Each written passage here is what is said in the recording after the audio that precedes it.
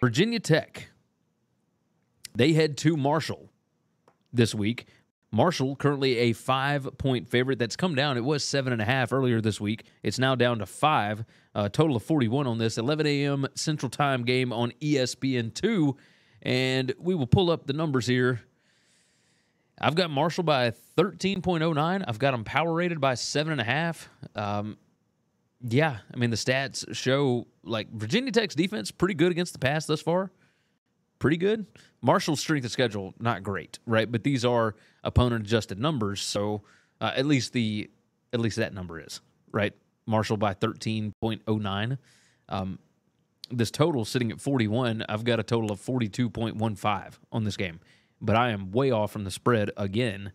Uh, a lot of mine this week have been pretty far off.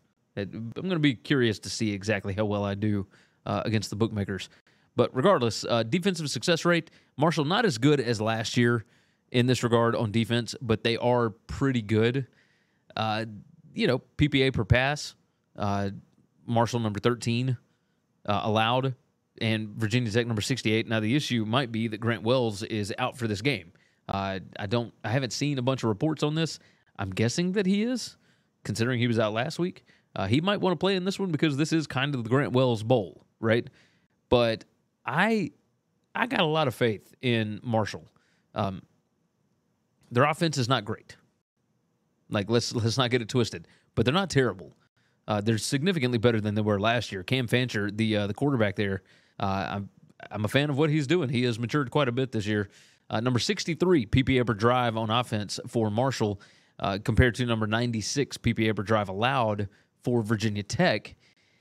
There's just not a number that I can find that really gives Virginia Tech an edge in this game.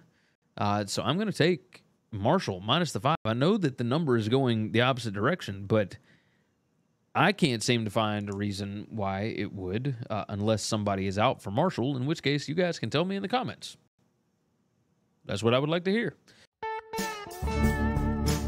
Thanks for listening to Winning Cures Everything. Make sure and follow me on Twitter at GaryWCE. If you want to toss in a question, you can email me, Gary at winningcureseverything.com. Make sure and hit that subscribe button, and we'll see you next time.